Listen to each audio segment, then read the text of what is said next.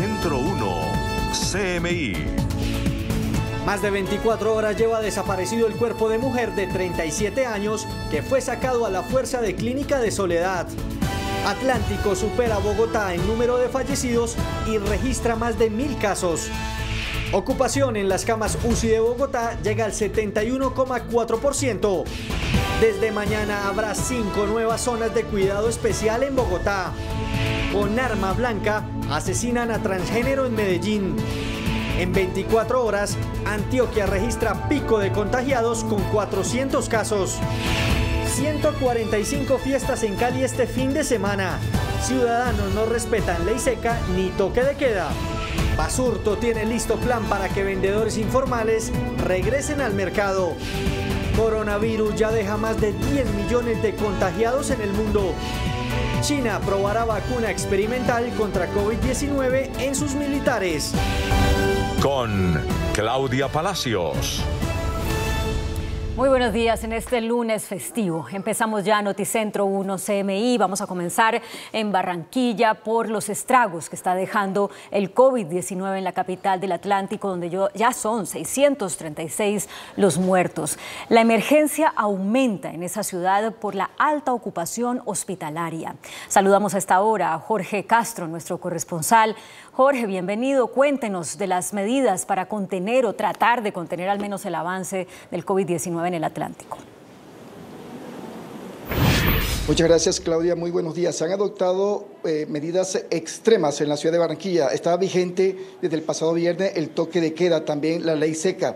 Pero son varias las denuncias que se han conocido por redes sociales de la indisciplina social que persiste en la ciudad de Barranquilla. Solo en el fin de semana se produjeron más de 700 comparendos a personas que han violado toda esta normatividad que se ha establecido en la ciudad de Barranquilla. Ya la capital del Atlántico, en este triste récord de 63 fallecidos que tuvo ayer, ha sobrepasado el, el número de muertos de Bogotá. Barranquilla está en 636 fallecidos, mientras que Bogotá está en 633 decesos, según las cifras que se conocieron en el Instituto Nacional de Salud. Unas cifras alarmantes, con más de 12 mil contagiados en la ciudad de Barranquilla. Y eh, paralelamente en el municipio de Soledad, en el área metropolitana de Barranquilla, también se presentan otros hechos.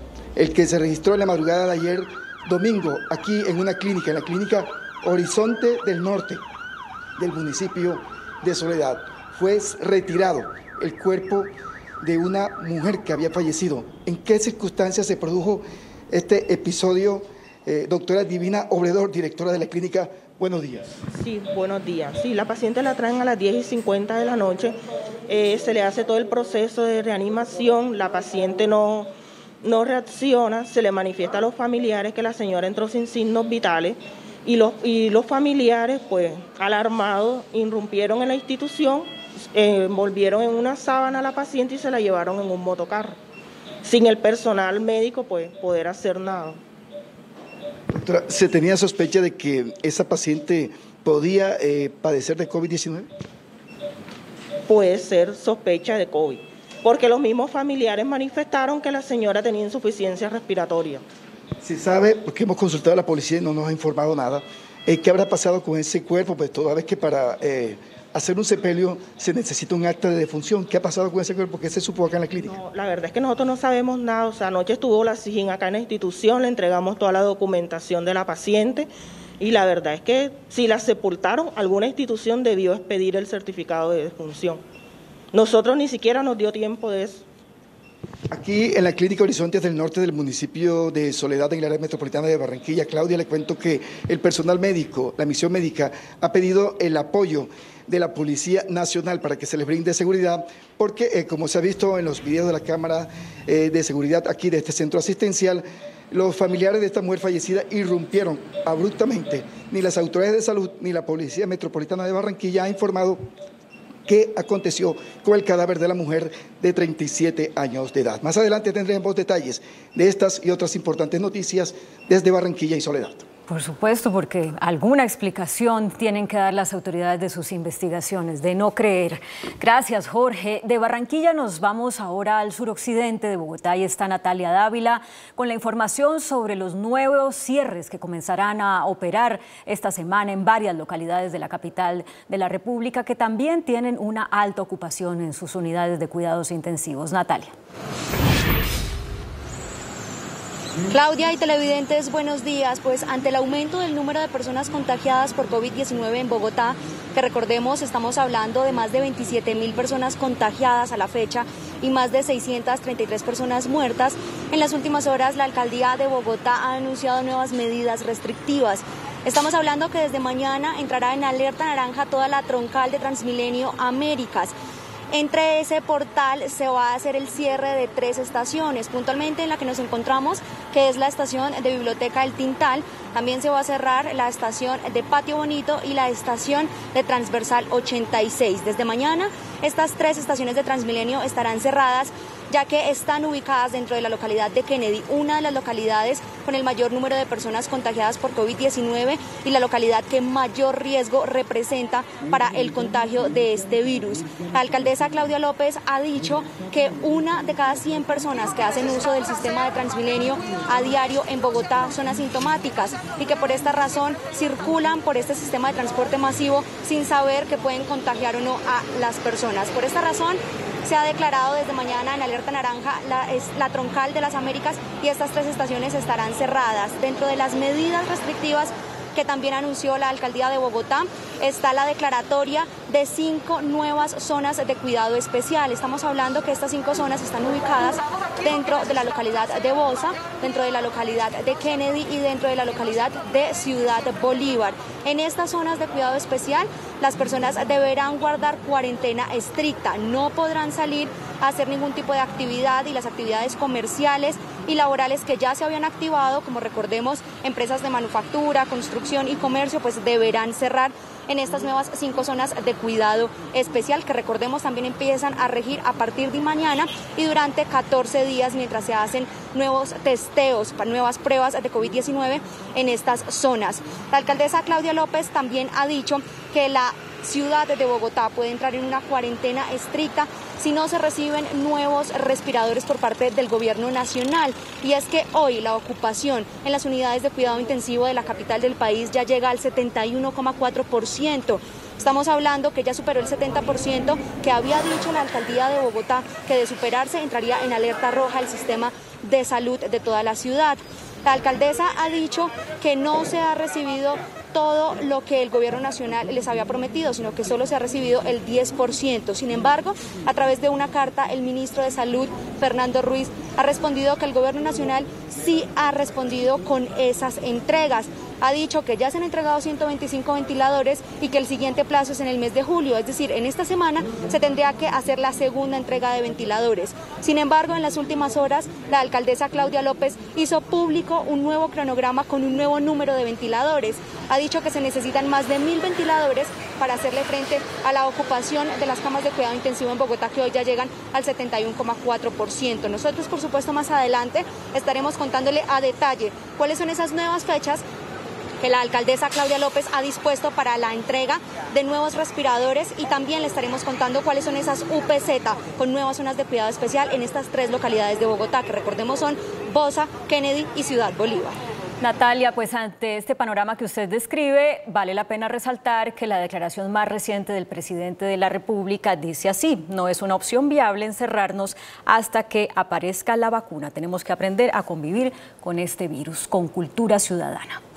Vamos ahora a otra localidad, en Bogotá, donde también habrá mayores restricciones para sus habitantes desde este martes. En el barrio Ismael Perdomo está nuestro compañero William Parra. ¿Cómo están preparándose los habitantes de ese sector, William, para el cierre estricto que empezará desde mañana?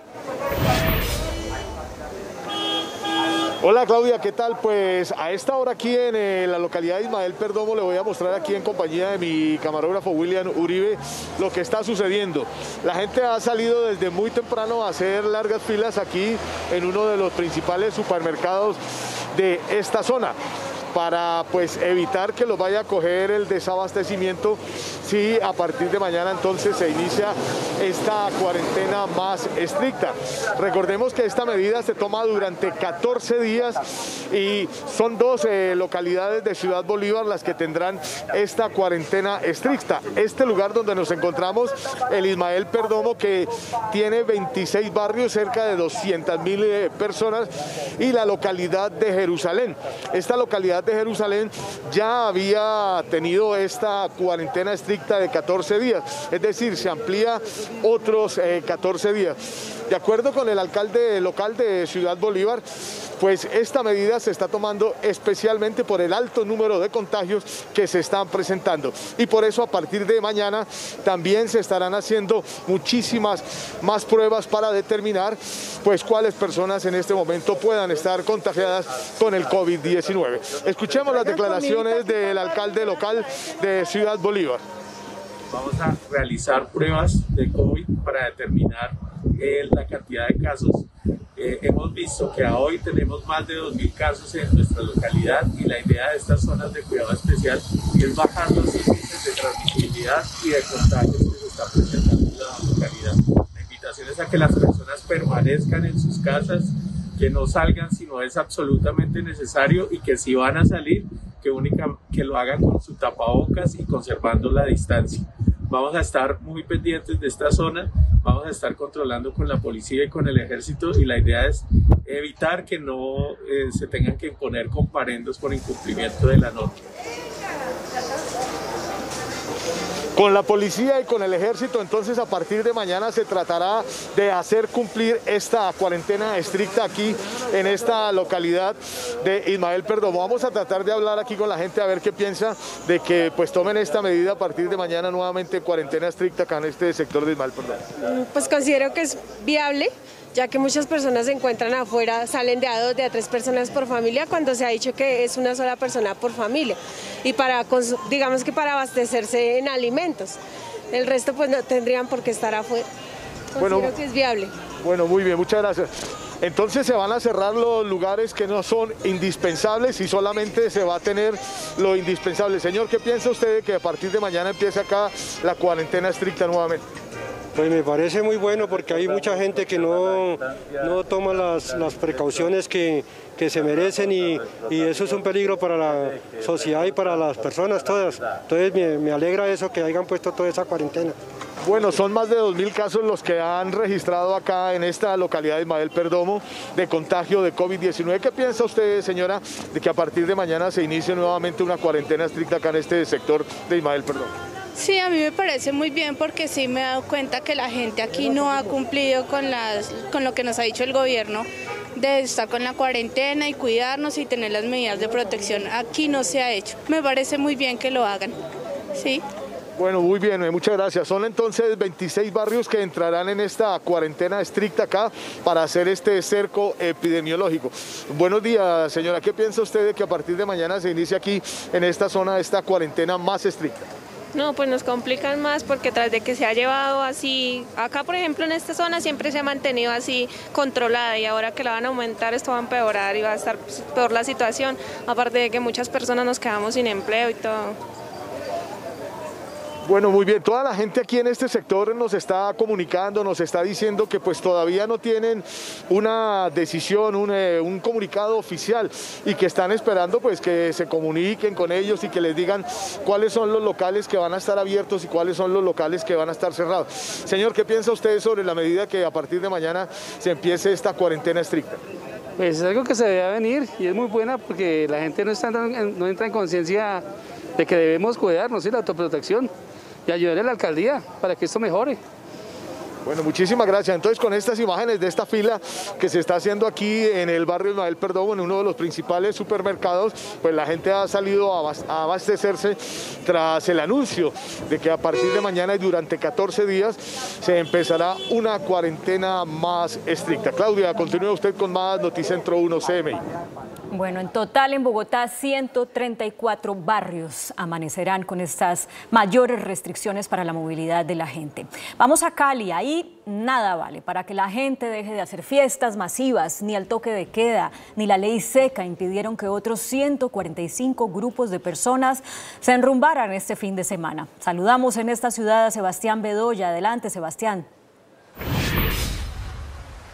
Hola, muy buenos días. Las autoridades hoy dicen que esa cifra que hoy nos sorprende pues disminuyó en un 40% a comparación de otros fines de semana. Sin embargo, la policía ha reportado que siguen recibiendo llamados de emergencia a la línea 123. Son aproximadamente 5.000 los requerimientos que se han atendido durante este puente festivo. Pero nos acompaña a esta hora el subsecretario de Seguridad y Justicia de Cali, Guillermo Londoño. Subsecretario, bienvenido a Noticentro 1 CMI. Gracias por estar con nosotros. Durante esos operativos que ustedes han ido durante estos fines de semana, ¿qué se han encontrado? Bueno, primero buenos días a todos y tenemos que decir que gracias a los controles focalizados de las autoridades y a una mayor cultura ciudadana tuvimos una reducción del 40%, 95 fiestas menos, eh, tuvimos 140 inmovilizaciones el domingo pasado frente a 95 que tuvimos eh, este, este domingo. Hemos visto un mejor comportamiento de los ciudadanos, sin embargo también hemos encontrado uno que otro en algunas comunas que violenta el toque de queda y que por supuesto consume también licor en espacio público. Eh, también se siguen presentando lastimosamente. Así es, tuvimos también un, número, un número importante de riñas, eh, pero sin duda comparado con el domingo anterior también hubo una reducción importante. Tenemos que seguir insistiendo en el buen comportamiento de los ciudadanos, en la concientización y por supuesto también en, en seguir muchos controles.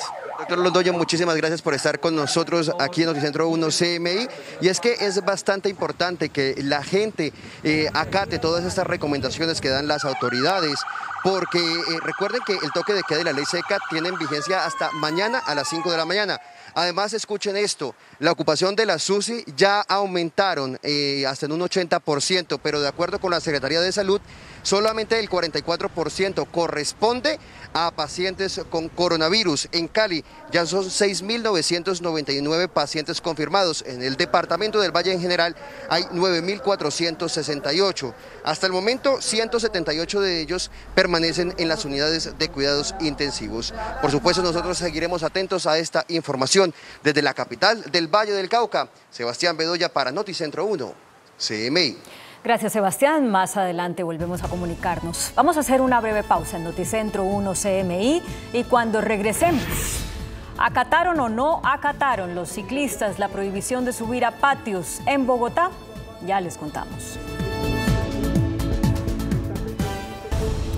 Seguimos en Noticentro 1 CMI. Estábamos en Cali hablando de lo que ha pasado con el COVID-19 durante este puente festivo y ahora nos vamos a Medellín, en donde no obstante ha habido un mejor comportamiento ciudadano durante el confinamiento. En las últimas 24 horas tuvo toda la capital, Antioquia, 218 nuevos contagios. Yusi, buenos días. ¿Qué sabemos de los sitios donde se concentra el número de contagios?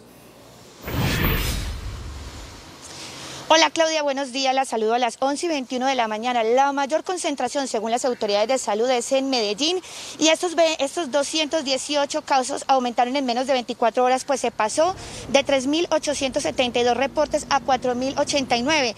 De estos, 2.403 están activos, pero también las autoridades de salud advierten que ha subido la cifra de fallecidos con 25 en las últimas horas y desde que se ha iniciado esta pandemia y también los hospitalizados que son 100 de ellos 44 permanecen en unidades de cuidados intensivos. Estas son las cifras del departamento de Antioquia que si bien ellos dicen se tiene controlada la capacidad en un 35%, hay que tener en cuenta la llegada de pacientes de otras regiones, de departamentos como Atlántico, Chocó y Sucre, que en total son 47, que también están ocupando estas unidades de cuidados intensivos en el departamento de Antioquia aunque en este momento se tiene eh, controlado, según las autoridades de salud, en las próximas semanas, si siguen llegando pacientes de otras regiones que también es prioridad atenderlos, podría colapsar el sistema de salud en gran porcentaje.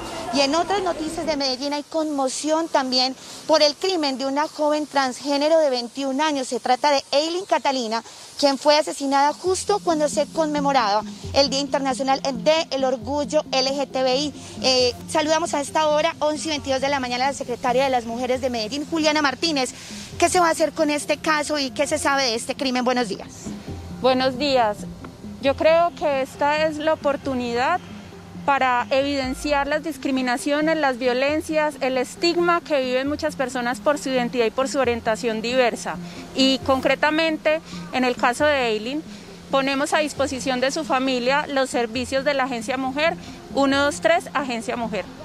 Muy bien, secretaria, muchas gracias. Hay que tener en cuenta que en lo que va ocurrido de este año, 13 mujeres han sido asesinadas. De estas, 10 han sido clasificadas como feminicidios y dos de los casos corresponden a mujeres trans. Más adelante, en minutos, tendremos otros detalles de esta y otras noticias desde la capital antioqueña. Claudia, siga usted con más. No pasa un día sin una noticia de ataque a las mujeres. Gracias, Yusi. Más adelante volvemos. Ahora regresamos a Bogotá para ver cómo se hacen los controles en la subida a patios hacia el municipio de La Calera.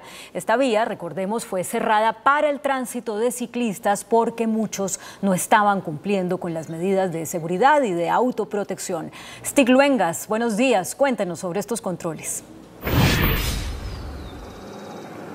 Hola Claudia y televidentes, muy buenos días. Nos encontramos a esta hora en la carrera sexta con 88, justo en la vía Bogotá-La Calera. Y es que a esta hora la Policía de Tránsito de Bogotá, junto con la Secretaría de Movilidad y también algunos integrantes del IDRD, se encuentran realizando monitoreo e inspección para que los ciclistas no suban por este importante tramo. Recordemos que en las últimas horas la directora del IDRD y también la Policía de Tránsito de Bogotá hizo una advertencia a los ciclistas y es que no pueden subir por esta vía porque se incumplieron los protocolos de bioseguridad en las últimas horas. Algunos ciclistas han sido sorprendidos sin el tapabocas y también se presentaron algunas aglomeraciones en la subida a patios. A esta hora me acompaña el coronel Gustavo Blanco, él es el comandante operativo de la Policía de Tránsito de Bogotá, quien nos va a hablar más de esos controles y qué han encontrado ustedes. Bienvenido, coronel, a Noticentro 1 CMI.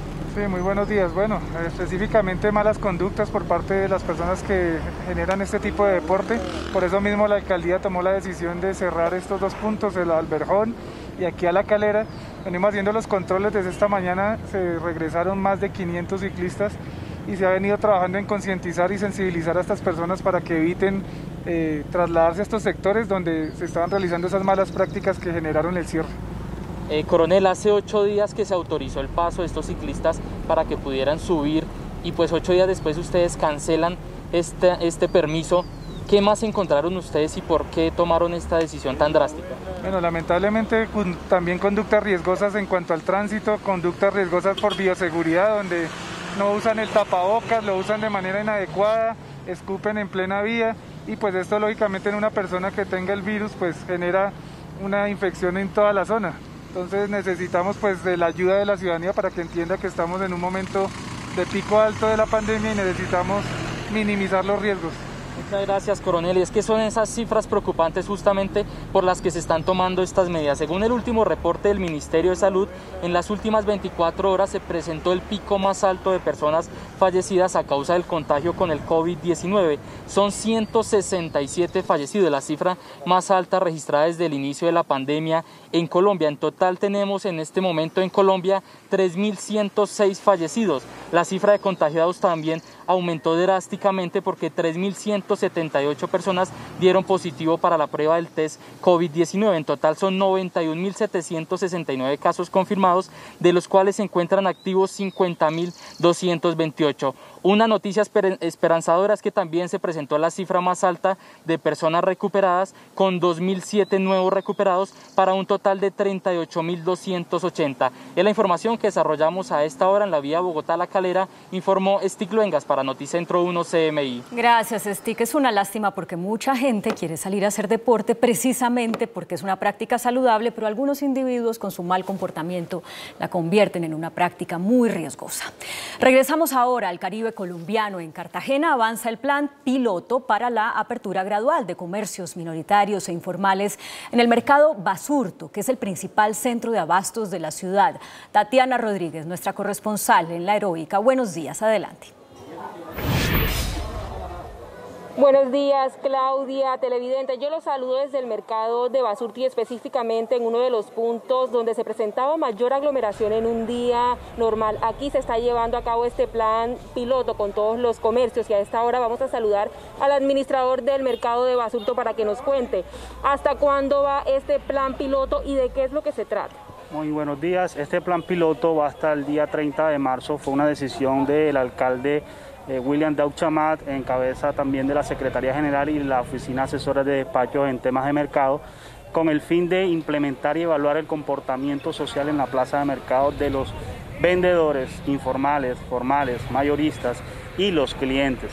Eh, al, final de la tarde nos vamos a reunir para tomar decisiones si esto se eh, reamplía o se cierra teniendo en cuenta de que el comportamiento ha sido excelente por parte de la ciudadanía. También a esta hora vamos a saludar al presidente de la Asociación de los Comerciantes Minoristas del Mercado Bueno. ¿Cuántos negocios eh, están abiertos en este momento para este plan? Eh, se están reactivando entre 500 y 700 negocios, que diríamos que mil cabezas de familia hoy comienzan a generar el mínimo vital para llevarle a, a sus familias a la casa. ¿Cuáles son las medidas de bioseguridad que están implementando para que sea segura la compra? Bueno, en las entradas que son dos tenemos este, un tapizaje donde se le toma la temperatura a las personas, hay unos lavados de manos. También en cada negocio, como pudiste darte cuenta, este, manejamos eh, los avisos de no se atiende sin tapaboca, hay que mantener el distanciamiento y eh, cada negocio puede atender la capacidad que tenga para atender diríamos, los clientes que lleguen para que mantengan la distancia. Muchísimas gracias. Como ustedes lo han dicho, hoy en la tarde se llevará a cabo una reunión para evaluar cómo ha sido el comportamiento de estos comercios y poder tomar una decisión definitiva y asimismo a ver si se prorroga a otros negocios del lugar. Por el momento es la información desde Cartagena. Tatiana Rodríguez, más adelante volvemos con más. Gracias, Tatiana, muy amable. Cuando regresemos a Noticentro 1 CMI, China ensaya una vacuna experimental contra el COVID-19 en sus militares.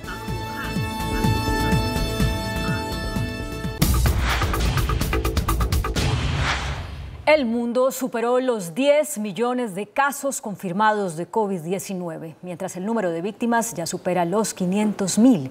China empezará a probar una vacuna experimental contra el COVID-19 en sus militares y sigue creciendo el boicot de grandes anunciantes contra Facebook. Las noticias del mundo en Noticentro 1 CMI. Tal y como lo pronosticó la Organización Mundial de la Salud, esta semana el mundo ya superó los 10 millones de contagios por coronavirus, luego de que en las últimas horas se registraran 189.077 casos diarios, un nuevo récord desde que estalló la pandemia. Desde que surgió en diciembre, el coronavirus se ha cobrado la vida de al menos 500.000 personas. La pandemia sigue expandiéndose de forma acelerada, sobre todo en América. Las curvas ascendentes más marcadas en estos días son las correspondientes a Estados Unidos, India y Brasil. Norteamérica suma más de 125 mil muertos y más de 2,5 millones de casos. Los contagios se incrementan en 30 de sus 50 estados, particularmente en los más grandes y poblados del sur y del oeste como California, Texas y Florida.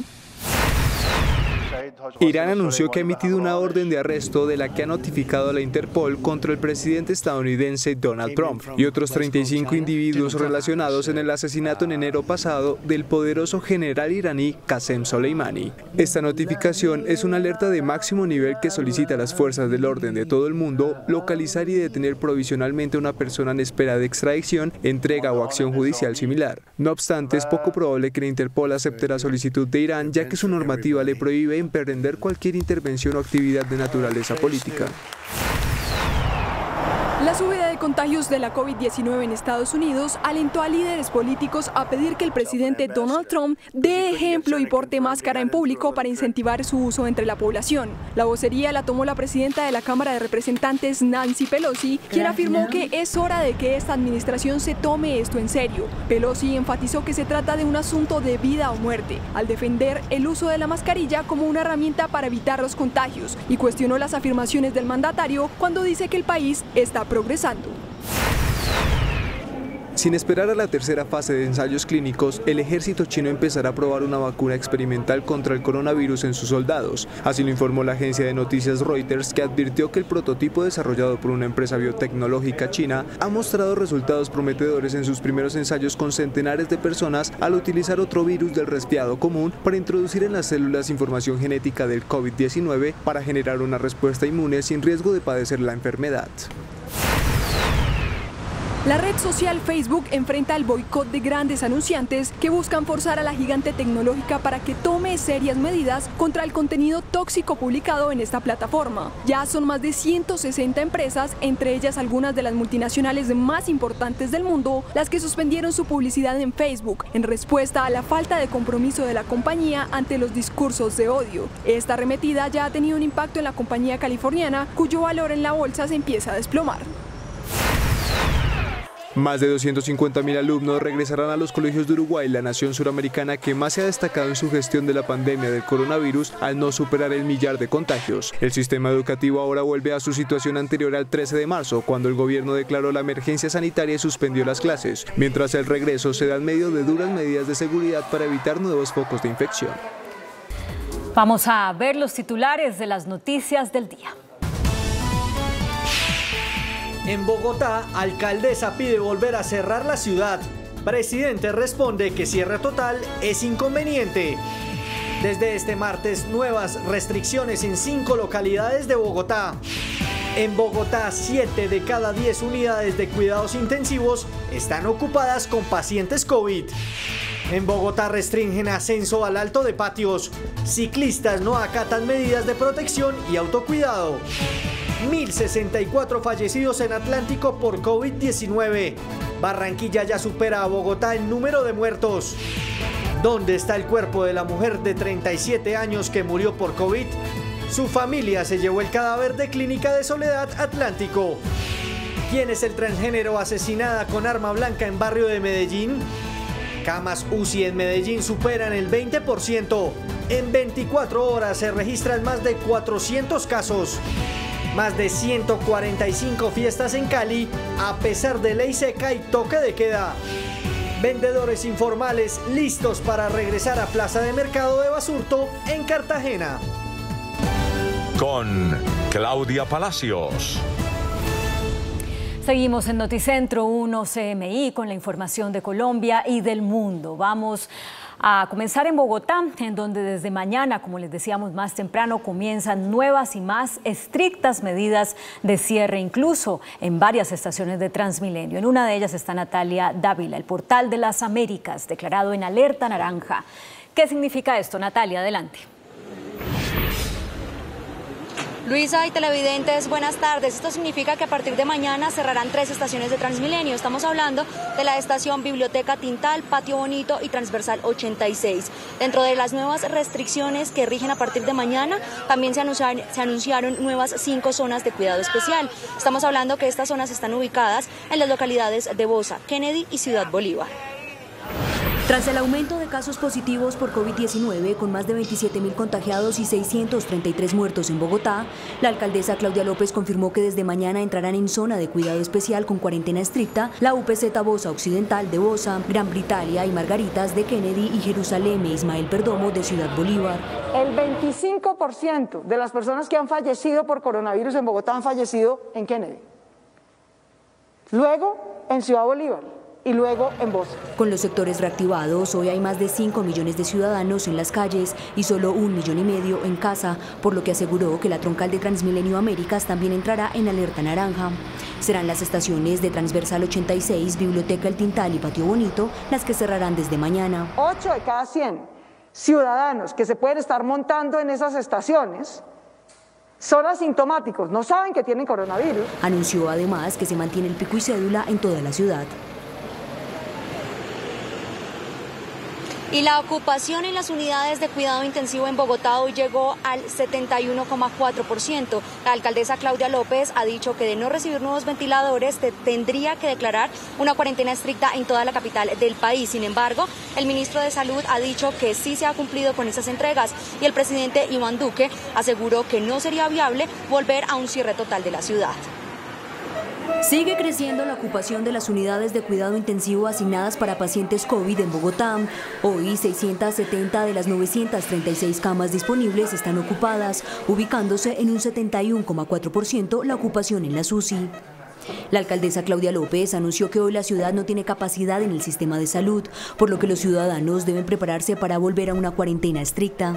Sabíamos que nos tocaba hacer como una especie de acordeón, abrir y cerrar cuando las cosas se pusieran difíciles. Se llegó el momento en el que se pusieron muy difíciles. Aseguró que el gobierno ha entregado solo el 10% de los ventiladores acordados. Mientras que la pandemia crece así, la entrega de UCIs crece así.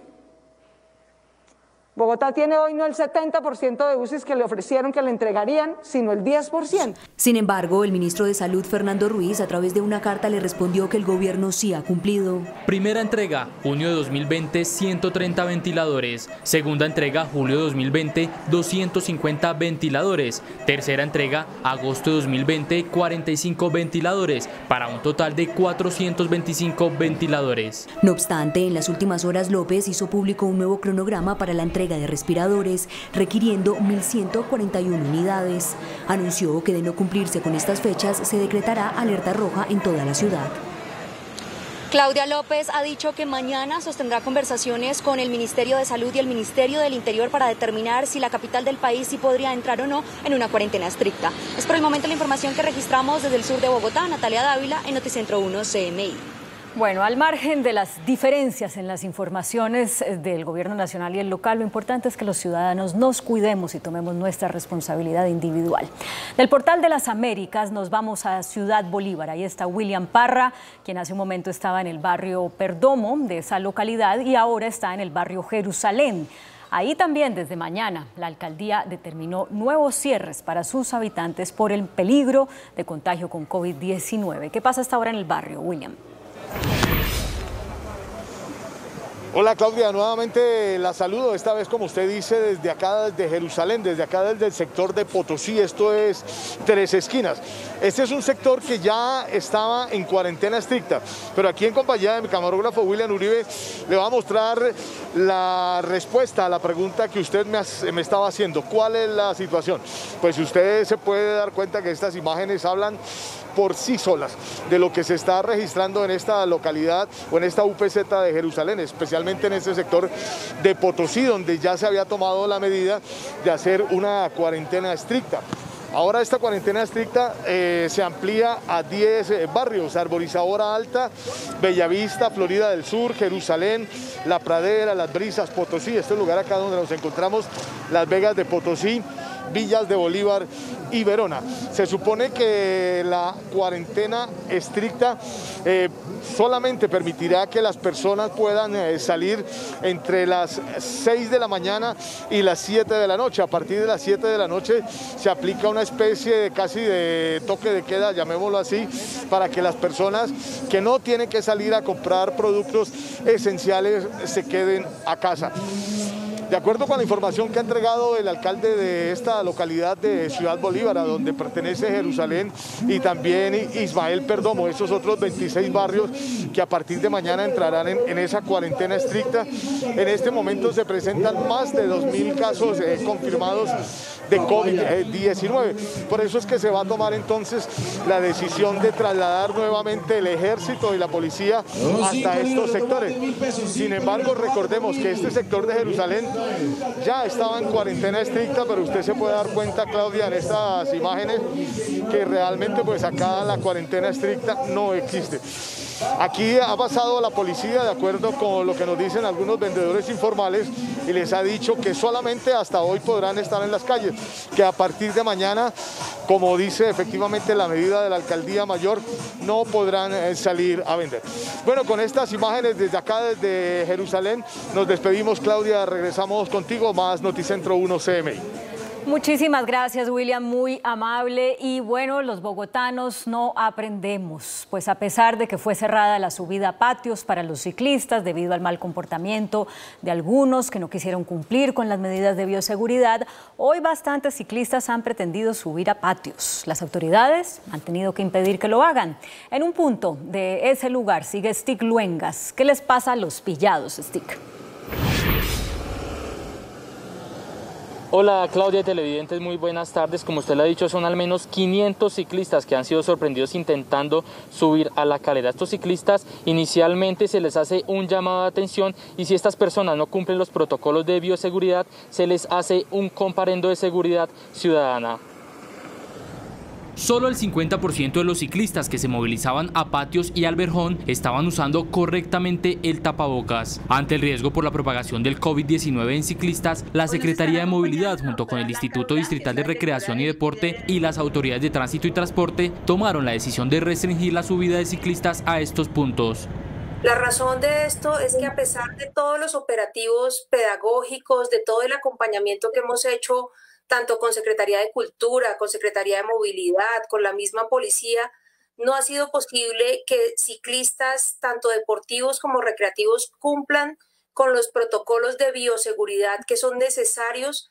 El riesgo sería mayor para los habitantes de los municipios aledaños a Bogotá, como la vereda El Verjón. Hacen aglomeraciones de más de 20 personas y esto obviamente es un riesgo adicional para la situación que se está presentando actualmente en la ciudad de Bogotá.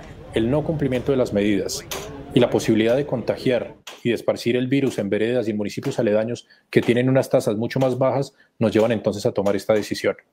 Por favor, como lo decía el coronel Blanco, estas medidas son para cuidarnos, para cuidarlos a ustedes, a los ciclistas y a toda la población.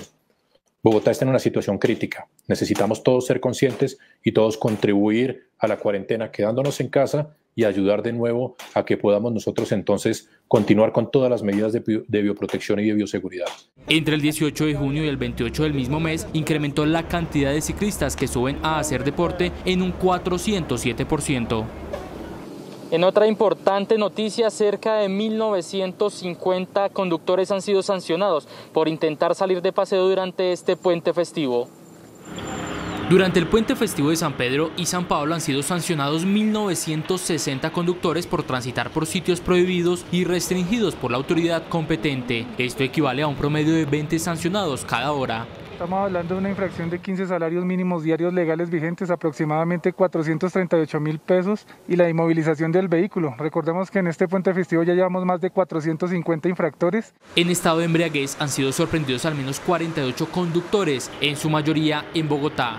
Hasta este puente festivo llevamos nueve personas sorprendidas en estado de embriaguez manejando.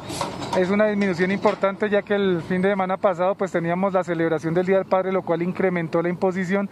En estos momentos venimos haciendo los controles en toda la ciudad, pero es una cifra digamos que aceptable. Por otras infracciones han sido sancionados 4.476 conductores. Son más de 350 puestos de control que tiene instalada la Policía Nacional para evitar que los conductores salgan de paseo. Es la información que desarrollamos a esta hora desde el norte de Bogotá, informó Stig Luengas para Noticentro 1 CMI. Gracias, Stig. Vamos a hacer una nueva pausa en Noticentro 1 CMI. Al volver les contaremos por qué Barranquilla está en cuidados intensivos.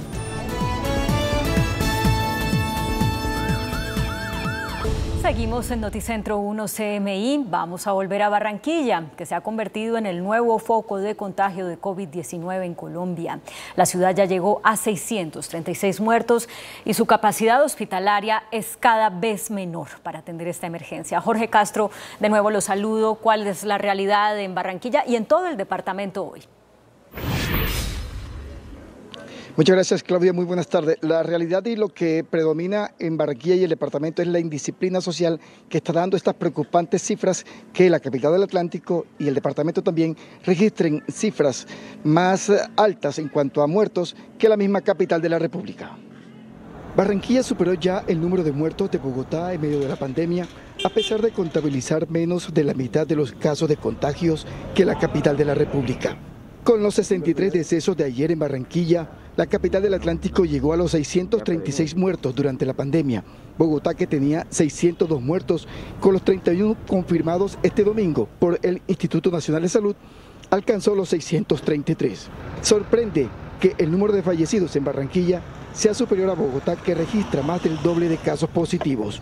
Bogotá, de casi 8 millones de habitantes, alcanzó los 27.928 casos positivos de COVID-19, con los 810 confirmados ayer y Barranquilla llegó a los 12.031.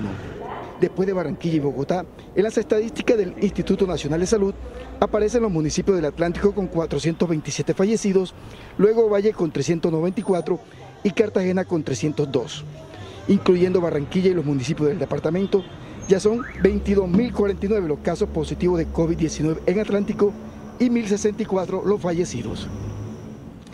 Y se registró en el fin de semana un episodio que investigan las autoridades, la manera como irrumpieron violentamente familiares de una mujer que murió por problemas respiratorios en una clínica del municipio de Soledad y se llevaron el cadáver. Familiares de la mujer la llevaron a la clínica con graves dificultades respiratorias. Llegó sin signos vitales al centro asistencial y pese a los trabajos de reanimación, se confirmó su deceso. Cuando llega una paciente eh, la traen los familiares, ¿verdad? Le, damos la entrada, entran cuatro familiares porque la paciente venía mal.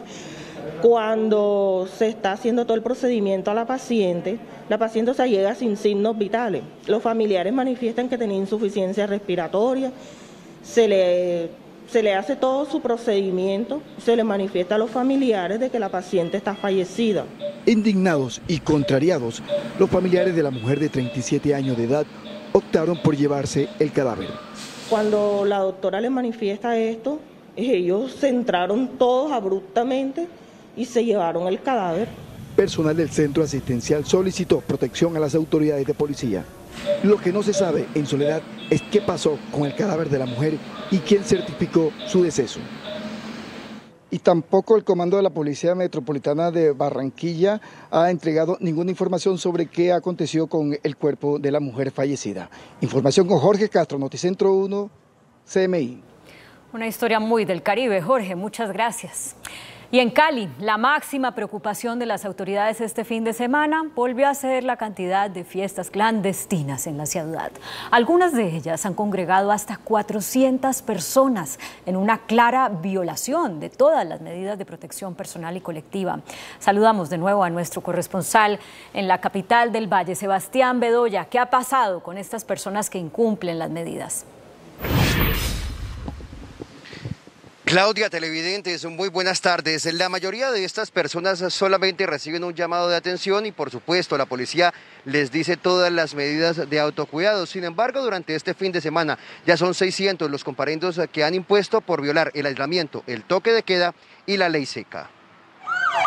Grandes concentraciones de personas como esta han sido desactivadas por la policía en Cali. Pese a la restricción del toque de queda y la ley seca, 145 fiestas tuvieron desarrollo este puente festivo y se atendieron 5.170 requerimientos, de los cuales 732 eran riñas. Nuestros dispositivos policiales, junto con toda la institucionalidad, nos permitieron atender los múltiples requerimientos que llegan a la línea de emergencia de la policía, estos relacionados con riñas, con violencia intrafamiliar, con sonidos a alto volumen y escándalos que fueron intervenidos. De otra parte, en Palmira, las autoridades previnieron que se llevara a cabo una fiesta electrónica convocada por redes sociales. Se ha evitado una situación que podía tener más de 400 o 500 personas efectivamente en contagio, posible contagio, por la cantidad de gente que puede asistir a una actividad de estas clandestinas. Asimismo, más de 300 conductores han sido sancionados por transitar en vías del valle violando la norma de aislamiento. Las normas restrictivas en Cali tendrán vigencia hasta las 5 de la mañana del martes 30 de junio. Bueno, las autoridades han dicho que el número de fiestas disminuyó considerablemente este fin de semana, un 40% menos que el fin de semana anterior. Y también hay que recordar que el toque de queda y la ley seca estarán vigentes hasta las 5 de la mañana de mañana martes. Estaremos atentos al desarrollo si hay otro balance. Desde Cali, Sebastián Bedoya para Noticentro 1, CMI. Pero siguen siendo muchas en todo caso, Sebastián. Muy amable, muchas gracias. Cuando volvamos a Noticentro 1 CMI, no para el asesinato de líderes sociales. Este fin de semana fueron ultimados cinco más. En lo que va del año ya van 145. Seguimos en Noticentro 1 CMI.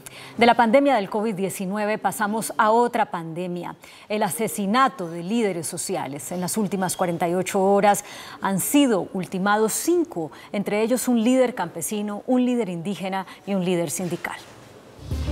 Con los cinco líderes muertos el fin de semana, Colombia registra 145 líderes sociales asesinados en lo que va corrido del año. En primera instancia, la minga indígena rechazó el asesinato según la comunidad, a manos de miembros del ejército, de Salvador Jaime Durán, un joven campesino del municipio de Teorama, en norte de Santander.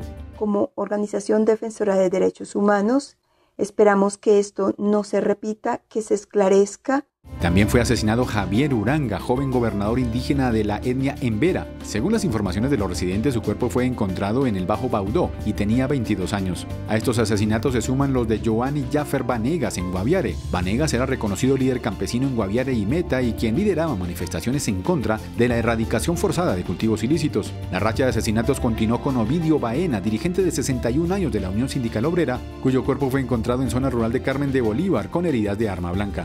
Finalmente, Miriam Vargas, líder feminista en el departamento del Cauca, fue asesinada presuntamente por su compañero sentimental. Miriam Vargas tenía 39 años y deja dos hijos menores de edad. En Medellín, en las últimas horas, se registró el mayor número de contagiados en un solo día. En Antioquia la cifra de contagiados por coronavirus aumentó en 200 casos en menos de 24 horas.